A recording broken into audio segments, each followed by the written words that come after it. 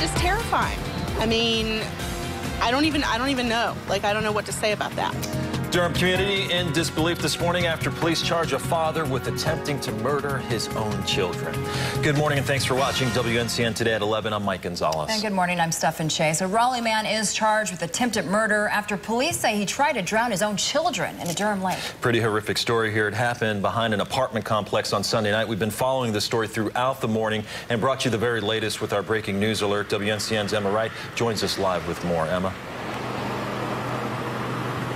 Police say Alan Lassiter tried to drown his own children. They say the youngest two, the three-year-old and the five-year-old, they are in the hospital. They say the seven-year-old was able to escape and run for help. We're going to show you some video of the pond where that man attempted to drown his children. Durham police say an off-duty sheriff's deputy was first on the scene and was able to pull the kids out of the water and perform CPR. They say the three-year-old is in critical condition, the five-year-old in stable condition. Neighbors tell me this is very shocking. They say the apartment complex is usually very quiet and filled with children.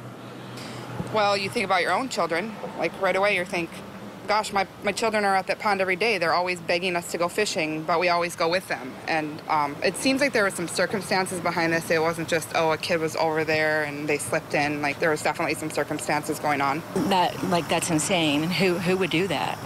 You know, it just is, it's, it's crazy. Alan Lassiter is in the Durham County Jail on $2,250,000 bond. We are expected to hear from Durham Police Chief Lopez in just a few minutes. We are going to bring you that press conference live, and we'll bring you the updates along with that when that happens. Reporting live in Durham this morning, I'm Emma Wright, WNCN News.